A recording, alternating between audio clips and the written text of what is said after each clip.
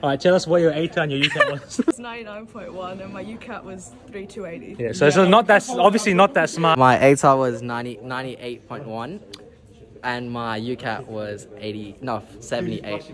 Oh, I'm actually, I'm actually, Oh, oh my god. Hey, can I have another- My ATAR was 86.55. My UMAT was somewhere in the 40s, I think. Okay, so how'd you get in? Because a lot of people. Post, Be, postgrad. GPA was Dad paid for it.